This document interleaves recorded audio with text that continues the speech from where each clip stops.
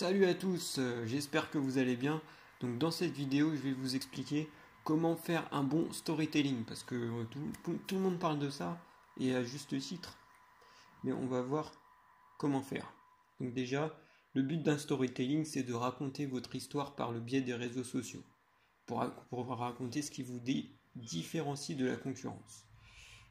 Mais euh, donc ça peut paraître un peu euh, stupide de faire du storytelling, mais il faut garder à l'esprit que euh, nous, hein, les êtres humains, notre cerveau, il aime bien les histoires. Donc c'est pour ça que c'est efficace. D'ailleurs, à la fin de cette vidéo, je vais vous montrer une vidéo euh, d'un yaourt que vous connaissez qui fait du storytelling pour expliquer un peu.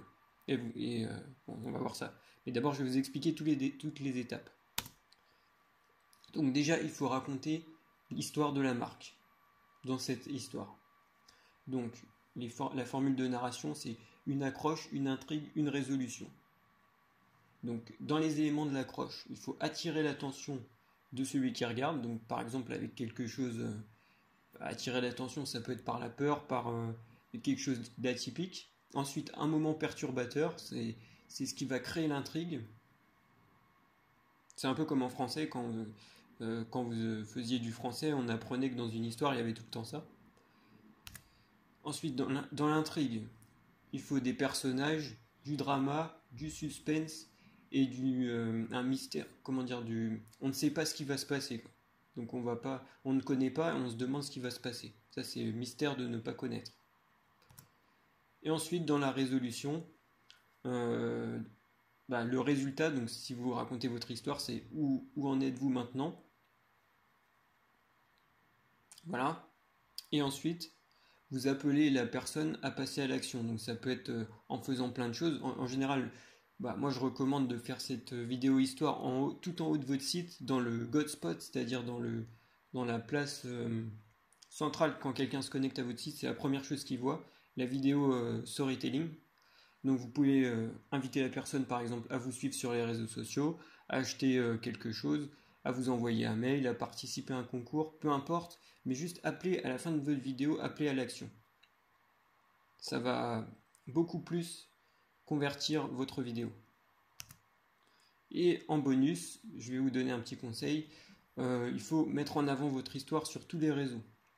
Bien que votre contenu n'a pas besoin d'être identique, il faut garder une certaine cohérence dans, votre histoire, dans votre, dans votre style. Voilà. Donc maintenant, on va voir.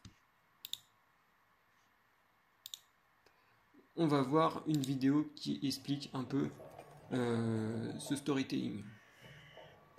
Enfin, qui, euh, qui respecte ce storytelling.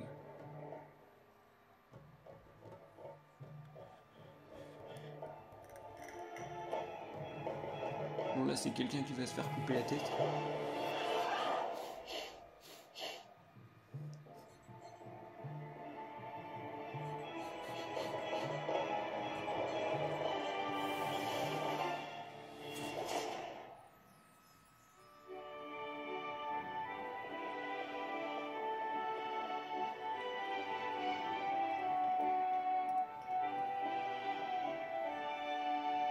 Voilà, j'ai pas été payé. Hein. donc voilà, euh, donc euh, c'est pour vous montrer que ça peut paraître stupide, mais les grandes marques le, font, et celles qui le font, elles ont raison de le faire parce que ça marche.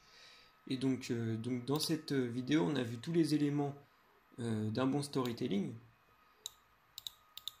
On a vu donc l'accroche, c'est-à-dire bon quelqu'un qui va se faire couper la tête, ça attire l'attention, ça fait peur un peu.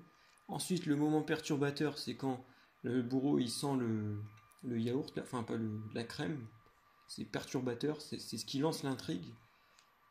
Ensuite, il y a des personnages, il y a le bourreau, il y a la laitière, il y a le mec, le, le, type qui va se faire euh, décapiter. Il y a du drama, on ne sait pas s'il va se faire décapiter, il y a du mystère, un mystère. Ensuite, euh, le résultat, c'est-à-dire que euh, le bourreau mange la crème. Donc voilà. Et après, bon, ils n'ont pas mis un appel à l'action, mais c'est différent un peu sur, euh, Internet. Vous pouvez faire un appel vu que c'est vous qui, parlez de votre histoire.